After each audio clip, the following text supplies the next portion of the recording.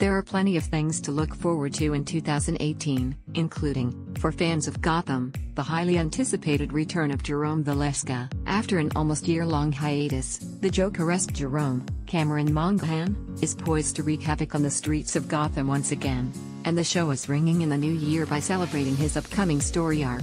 The official Gotham Twitter account posted a gif of Jerome as he appeared to Penguin, Robin Lord Taylor, in the mid-season finale last month. Accompanying the motion photo, the tweet told fans that there was lots to look forward to in 2018. While the mid-season premiere date for Gotham has yet to be revealed, fans are anxiously awaiting the show's return. The finale ended with a lot of loose ends that still need to be tied up in the back half of the season, chief among them, what's actually happening with Jerome and Penguin.